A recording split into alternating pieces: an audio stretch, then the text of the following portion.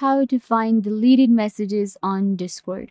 Hi guys, welcome back. Today I'm going to be showing you how to find deleted messages on Discord. The messages you have deleted can be restored with Discord. So how to do that? Let's start. Firstly, open up your discord.com but before we get to Discord, you need to go to your Google and search for Lights Better Discord. When you go to Lights Better Discord, this is the first link. Open it up and then you will land right here. You will find this plugin that is available and it saves all of your deleted messages and you will be able to restore your deleted messages with this plugin. Simply click on download and it will be downloaded right here. Then what you have to do is simply go to your Discord and then simply go to your Discord settings. In here, simply go to connections when you go to connections you will be able to integrate all of these different you know downloads that you have added. So now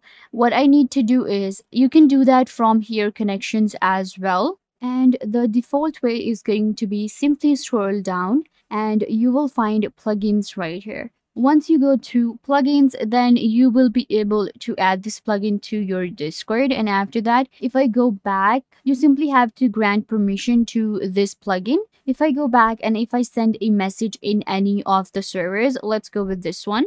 So let's send this message.